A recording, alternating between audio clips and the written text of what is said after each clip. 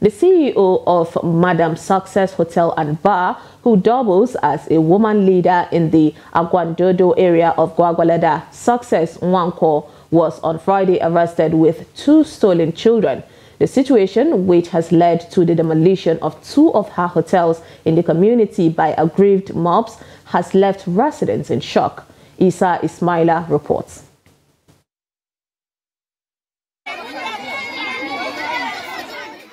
Situated in Angwandudu community, the hotel has allegedly been used as a camp for child trafficking.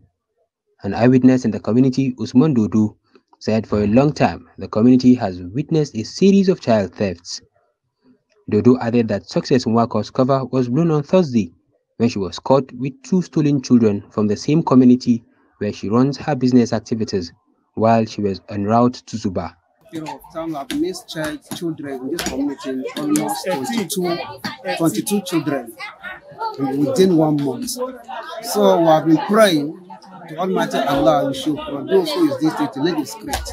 So eventually, yesterday, we had an information that there's two child that lost yesterday evening.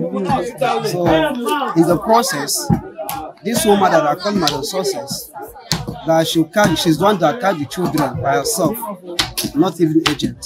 So she entered a car from here to Zuba. So there's one vigilante man inside the vehicle that comes from the east side.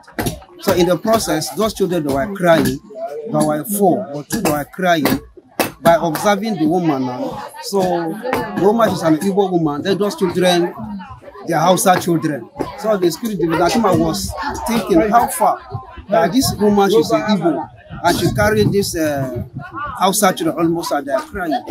So he now make a communication to their office at the Green Vigilante office. Nobody picked the call. So it was later they now returned the call. He now explained to them and the vehicle, the driver didn't want to stop because they don't know what is going on. They now alerted that let him leave the vehicle to move. Anytime, wherever you reach, whether it's a checking point of police, let it raise alarm there. The district head added that they've held several meetings with the suspect as one of the women leaders in the area on how to find lasting solutions to the menace.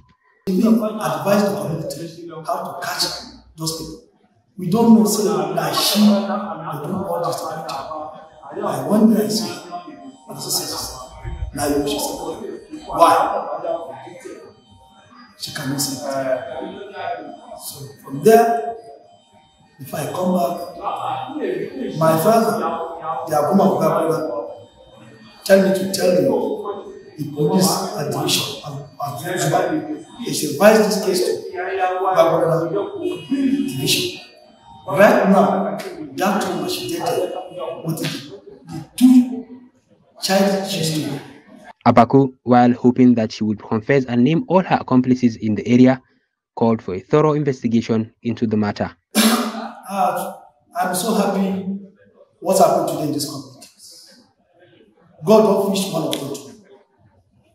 And from now, so uh, this woman, we are going to tell her, anybody where she will say, the hand inside this thing, let her fish the person to us. Even on my person, if she tell me, say, so so person, chief, you know about this thing, this community, I not hand over to security to take care of uh, person. Prit has since been moved to Gwagwalada Police Division from Zuba, where she was initially arrested for further investigation.